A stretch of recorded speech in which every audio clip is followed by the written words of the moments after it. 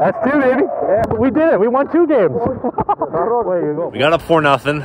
We blew the 4 nothing lead, got up 5 4, blew that, and then scored a shorthanded goal with like a minute and a half, two minutes left. Like, that is clutch. We're like the 1980s Oilers as a league. We got to work on some puck handling, keep it simpler. I don't know what happened there. That was just a brain fart. We got practice today. We got a day off tomorrow. We got an afternoon game, which I, I love afternoon game. All the uh, the COV games that were canceled because guys are getting sick.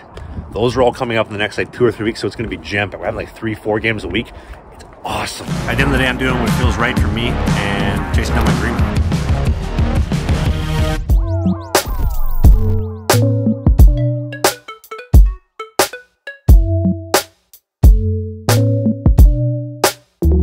We have a new signing. We signed the Zach Bell. I don't know what you're doing. I need protection. Zach Bell does it with a puck. He does it with the puck? he does it with a puck. Yeah, I think so.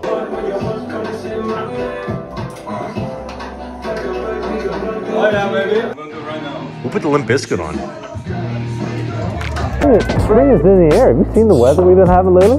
Sunny as shit. It's great. Yeah. Take it, take it, take it. Take it, take it, take that. Take it, take it. Take that, take that. Yeah, take that, take that.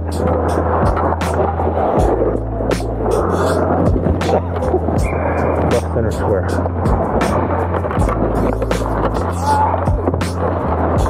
Small justice. Get four of them pops. Ow! Ow! Hard! So I'm gonna go pick up the boss man, the guy that I live with. I see a lot of people asking questions about like how I ended up living with him. When I came here last year, I had no place to stay when I came here from Stockholm. Our head coach Zoltan, who was our coach this year, then ended up getting fired. So he just said, "Oh, I'll put you with uh, one of my best friends. You can go live with him." Oh, welcome home. Hallo Trev, het är bilen in uh, this year. Där kom. Oh, yeah.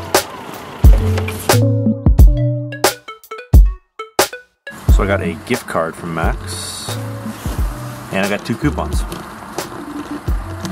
we're really saving money here tonight. Real fries tonight, real deal. We love that stuff. Maybe not the most exciting burger, but halloumi burger. Luck shake. It's basically like a McDonald's milkshake, but really fancy, and it is so thick you gotta spoon it. Hold on, look at this, look at this, look at this. You seeing this? This is the uh, apple pie milkshake, by the way. You got apple pie in here, ice cream. Are you kidding me? Oh my god.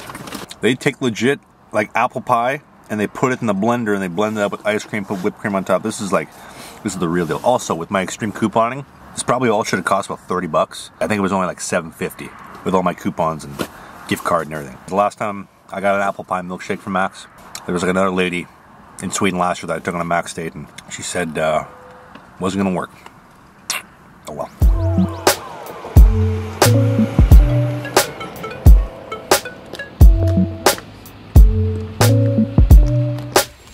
Presperon is where I get like my phone plans every month. One of the craziest things about Sweden is so my phone plan every month here. It's like a month month. It's kind of like a burner phone.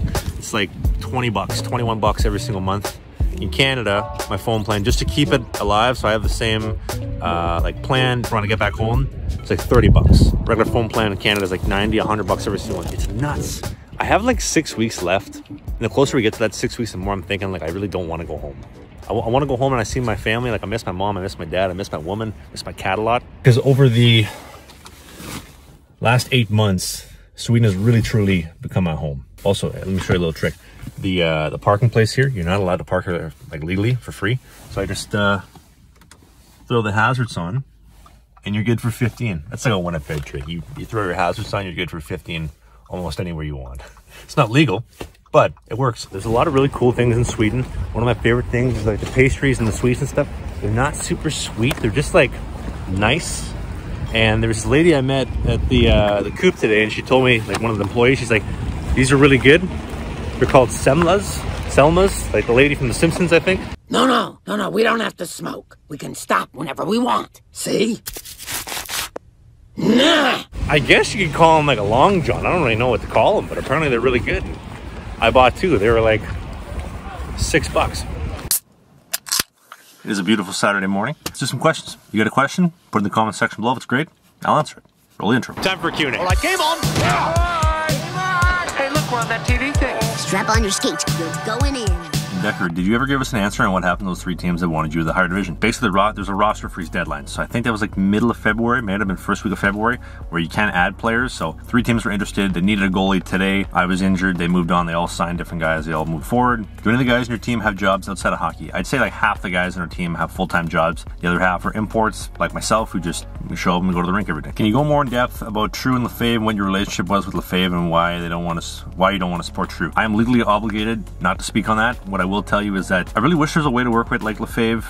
I know that they're owned by True now, but it'd just be nice because Patrick Lefevre makes such an amazing product. He's a, a once in a generation talent, a craftsman. I've met him in person. I know it was over two years ago I went to Lefevre Factory, but it was a life changing experience. And um, once you've had the best, you can't compare to the rest. Can we just get Trav haircuts every day and keep the hairdresser lady in the vlog? Haircuts are like a hundred bucks here. They're not cheap, but uh, Teresa's a cool girl. Gas here just hit a dollar seventy a liter. Three bucks a liter would bankrupt me. So to clarify, the gas prices in Sweden are about 3.25 Canadian a liter, but nine bucks US for a gallon.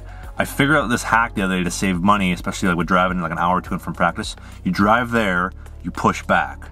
So instead of gas being 3.25, then it becomes like a dollar seventy because you you only drive one way. I'm 16 and would love an opportunity to try out for a CHL team. How did you get a tryout in the Western League? Were you drafted beforehand? Also, how old were you when you did it? I was 17. I was in trade school for culinary school, and the apprenticeship advisor he ended up seeing me wearing like my AAA like uh, hockey hoodie in Winnipeg, and he says, "Oh, you play for the AAA Hawks?" Yeah, I'm actually the uh, head Manitoba scout for the Portland Winterhawks. Great. So we ended up talking. We'd like to invite you to camp. Actually, turns out we're only inviting signed guys, drafted guys this year, so we don't have a spot.